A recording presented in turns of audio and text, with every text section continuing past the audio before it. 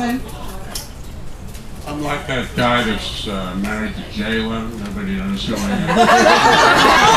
Marilyn's husband. I, I, had two quick stories. Uh, one from today. Bob and I went, we were the beverage committee for this affair. And we went to Total Wine. So I said to the woman that, that was uh, in the wine department, I said, I have to find Woodbridge. Of course, I gave him the assumed name. they don't get it. So, she, she, she led me to the, to the Woodbridge department.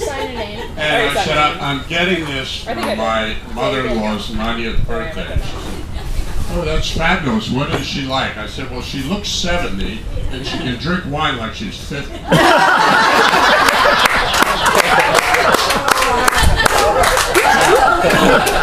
other, one other quick story. Marilyn and I started dating in 1994. And when it got, when it got serious, she said, you're going to have to go to Florida and meet my mother and my stepfather. And she said, they play a lot of golf. And I said, well, I play golf. Of course, I had I played chip and putt when I was in college. so we get down and meet uh, Marion. She's looking forward to taking me out on the golf course. So we all go out to the golf course down the road. And after about four holes, I have chewed up the tarmac. and she and Paul are out there with the grass seed. she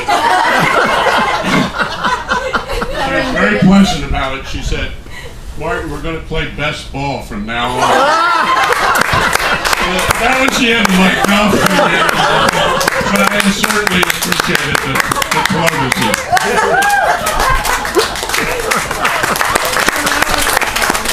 Here comes Kathy, my mother's real favorite. No, no.